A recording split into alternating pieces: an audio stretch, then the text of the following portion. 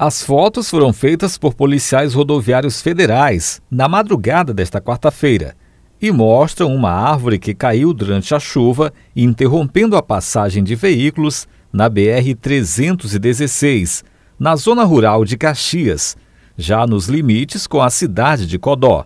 O Corpo de Bombeiros foi chamado. Utilizando uma motosserra, os bombeiros retiraram a árvore.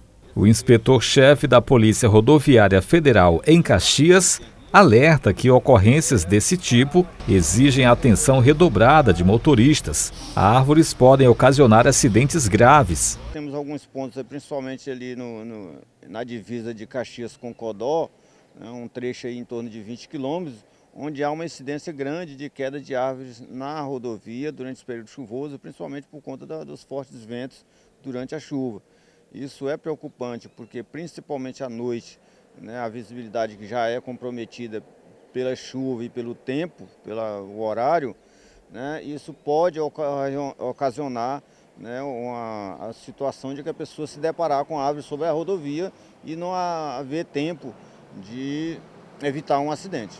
O policial rodoviário lembra que, além da queda de árvores, a chuva pode oferecer outros riscos, há o perigo de aquaplanagem, quando o veículo perde a aderência ao asfalto molhado. A visibilidade do motorista também fica comprometida, principalmente à noite. Nestas condições, o melhor a fazer, segundo a PRF, é interromper a viagem e buscar um local seguro.